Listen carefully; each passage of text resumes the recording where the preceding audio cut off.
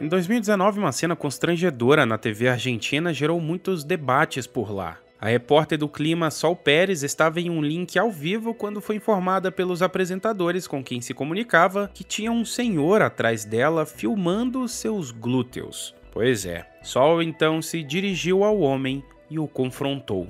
Señor, ¿qué está grabando usted? Oh, no. Me encanta Ah. cómo encaró. Está Está bien, bien. no encare. ¿Pero qué graba? Porque yo estoy de espaldas, entonces. Acá los, de los, los chicos de- de- del piso estaban, Yo, yo, están viendo yo. como que usted está grabando cosas yo, que no está bueno grabar.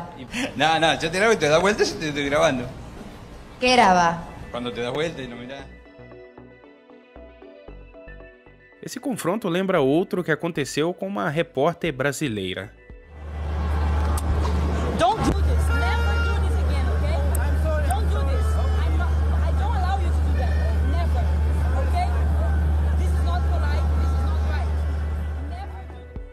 Essas jornalistas não foram as únicas a confrontarem alguém na TV. Dessa vez em um assunto bem mais leve. Um casal estava participando de um quadro do Mais Você em que o rapaz proporcionava um jantar surpresa para a namorada. O problema é que ela odiava a surpresa. E aí já viu, né?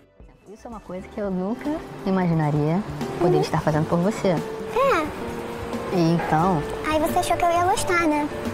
justamente, Ah, porque tá. Por eu sei que você é tímida e tem questão e tal, mas, cara, foi uma forma de fazer algo diferente pra você. Aham, entendi. Não, eu só tive que deixar todo o meu trabalho acumulado pra fazer no final de semana. Eu pensei nisso. Eu só tive que deixar de descansar, porque eu tô tranquilona pra vir pra cá, pra você ficar feliz. Fiz na melhor das intenções. Isso tudo, de verdade. Foi literalmente, O destino. podemos dizer que sim, Hum, que bom, mas né? de verdade. E aí, assim, você ela. tá feliz. O propósito é você também ficar feliz. Como- Estamos todos dois felizes. Esse foi o meu propósito, É, de eu só verdade. topei mesmo por consideração, porque senão ia ficar muito feio pra você, né, amor? E, com certeza. É. Eu, eu- o que, que eu pensei? Se eu falasse, tem que pensar. O que, que eu pensei na hora? Falei, poxa, eu acho que é uma forma dela relaxar. Assim, porque é diferente. É, muito. É diferente, então assim, talvez. Tava relaxada contigo aqui. Após a matéria ir ao ar, o casal processou a Rede Globo por conta do episódio, e até por isso tive que censurá-los por aqui.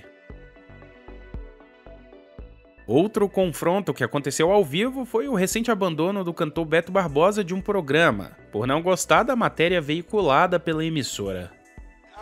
Pergunta do repórter aí, eu acho assim muito preconceituosa. É, Me bora, bora falar. Eu acho que Olha ele está muito preconceituoso, eu acho que ele está muito antigo, porque a Lambada é uma música mundial, uma música que começou na França, é uma música super conhecida no Brasil e no mundo. Então não existe esse negócio de lambada, é antigo. Lambada é atualíssimo. Lam- Lambada é a cabeça dele, altamente preconceituosa, que não está vivendo o momento atual. Que esse forró de hoje, que se dança hoje é lambada, isso não é forró, é cultural e é histórico. Eu não posso aceitar Muito bem, é isso aí. Ele, olha, gente, Beto Barbosa é defensor da lambada e ele estava explicando exatamente isso. Que lambada é vida, você tudo que você dança aí se joga, é lambada. Então vamos se jogar de música, lambada?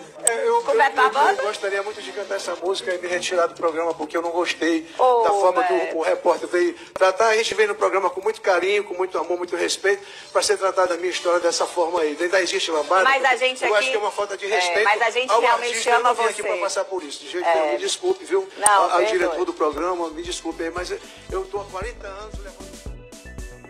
Existem momentos icônicos na TV em que perguntas indiscretas causaram embates ontológicos. O jeito de tomar um gol assim é entre as pernas, quando o cara bate por cima, de ladinho. Como é o pior jeito de tomar um gol? Não tem, eh, tomou o gol já é ruim, não importa como. O cara metendo de bico, metendo de, de cabeça é, é ruim? Oi? O cara metendo de bico ou de cabeça? Você tá de sacanagem, velho? Eu só quero saber isso. Não, você tá participando do bola fora da gente. Não, não tem bola fora, estou trabalhando, rapaz. Respeita aquele jogador, respeita quem tá trabalhando, tio. Tá brincando. A Luana É, quer falar você com tem filhos? Sim, uma filha de 10 anos. Ah, é? Ela gosta de futebol? Ela. Ela, além de. Não, porque normalmente gosta- a gente ama o que o pai faz, daí vai acompanhar um dia no serviço, esse Ela- tipo de coisa.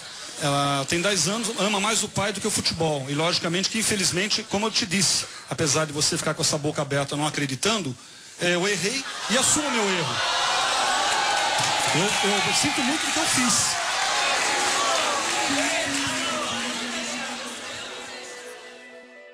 E se aqui no Brasil tem o Beto Barbosa, a TV portuguesa tem Santana Lopes, que deixou um programa ao vivo após ter sua fala interrompida para mostrar a chegada do técnico Mourinho ao aeroporto. Eu comecei a falar nisto hoje à tarde. Os acontecimentos têm sucedido a uma velocidade grande. Dr. Pedro Santana Lopes, tenho que o interromper durante um instante. Vamos já em direto para o aeroporto da Portela, onde está o repórter Pedro Freitas, que acompanha a chegada de José Mourinho a Portugal. Boa noite, Pedro. Regresso agora à conversa que o Dr. Pedro Santana Lopes estávamos um, a falar. Estava sabe a onde, falar. Sabe onde é que estava? Sei, estávamos a falar sobre E a acha que qualidade... isso justifica? Desculpe lá a pergunta. Já que estamos a falar de correção, acha que isso justifica? A interrupção da, da entrevista O para... José Mourinho é muito mais importante que qualquer um de nós, sem dúvida nenhuma. E, a chegada dele põe o país em delírio. O, estes problemas dos partidos e do sistema político não interessa nada. Mas eu só lhe pergunto se é assim que o país anda para a frente. As senhoras convidaram para vir aqui, para vir falar destes assuntos importantes. Eu vim com sacrifício pessoal. Com sacrifício pessoal. Chego aqui, sou interrompido por causa da chegada de um treinador de futebol. Acho que o país está doido. Desculpe dizer. Com todo o respeito. E, portanto, eu não vou continuar a entrevista. Acho que as pessoas têm que aprender. Está bem? Muito obrigado. Peço desculpa, mas não vou continuar. Lamento. Sem nenhum pretenciosismo. Agora, eu tenho regras e não quebro as minhas regras. Muito bem, lamento. Está bem? Mas muito obrigado pelo seu convite. Agradeço muito. Gostávamos imenso de poder eh, Muito ter a sua também. opinião sobre o momento em que o PSD Eu também gostava está, de dar, por isso é que está, vim. está a viver. Fizemos uma interrupção porque, de facto, eh, José Mourinho é uma figura importante Sem dúvida. no país. O senhor terá até muito mais sensibilidade. Uma repórter estava fazendo a cobertura do show do Black Eyed Peas no Brasil quando tomou uma baita bronca ao vivo. Olha, a gente tá aqui com um monte de segurança, mas a Ferg ainda falando.